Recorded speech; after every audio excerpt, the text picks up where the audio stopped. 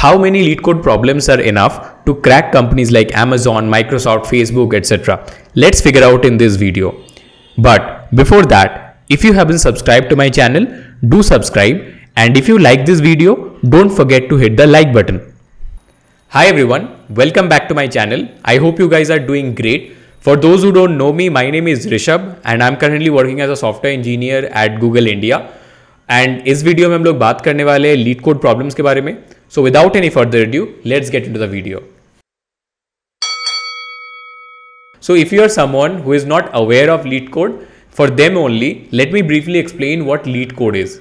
LeetCode is basically a website where you have a lot of data structures, algorithms and general problem solving related questions to practice for interviews. And what sets LeetCode apart from other sites is the quality of problems and the variety. So before getting into the numbers, let me do some calculation for you. Let's assume you are solving nearly 300 problems. Let's assume that number for now. And out of those 300 problems, you have 100 easy problems, 150 medium problems, and 50 hard problems. Now, in best case scenario, let's assume that you can solve an easy problem in 20 minutes, a medium problem in 30 minutes, and a hard problem in 45 minutes. Okay. So the total time invested to solve these 300 problems would be like 100 into 20 plus 150 into 30 plus 50 into 45. So that would come roughly around 8750 minutes, which is similar to 145 hours. Now this is the best case scenario. If we take on an average, let's consider the number as 200 hours. Okay.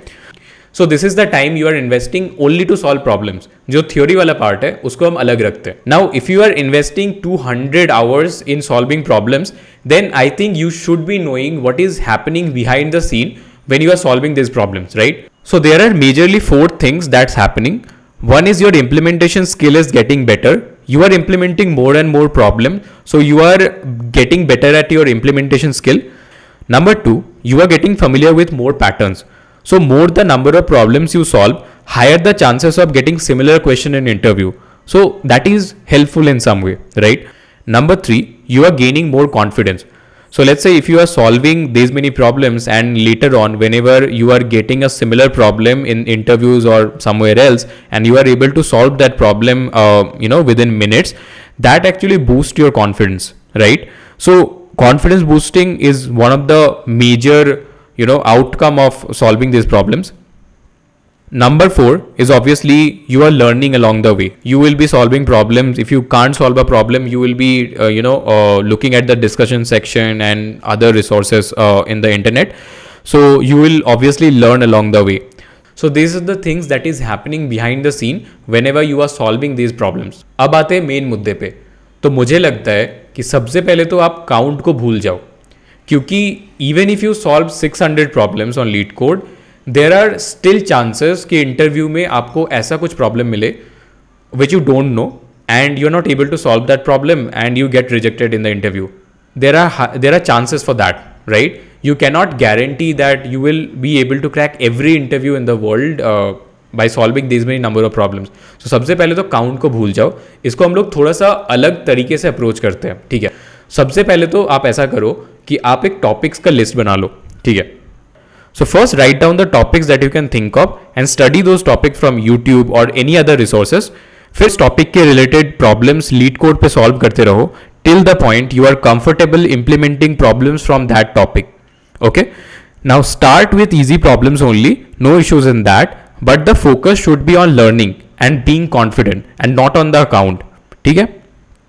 For example, let's consider binary search. So first thing first, you should be learning what is binary search and how to implement a basic binary search algorithm. Okay?